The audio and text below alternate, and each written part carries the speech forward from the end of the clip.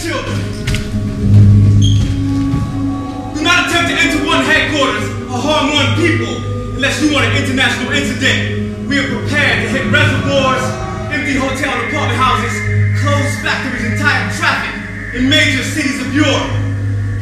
We have to get the children out now. We are equipped, well trained, and experts in guerrilla tactics. Are not a bunch of frustrated middle class college students, irrational radicals, or some confused terrorists.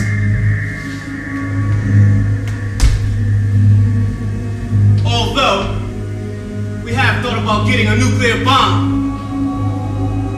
Time is nearing. Oh, it's not that far-fetched. Especially when they accidentally dropped him at sea.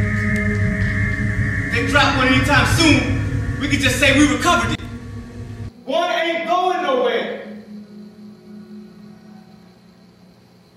We are a deeply religious organization totally committed to the principle of our belief.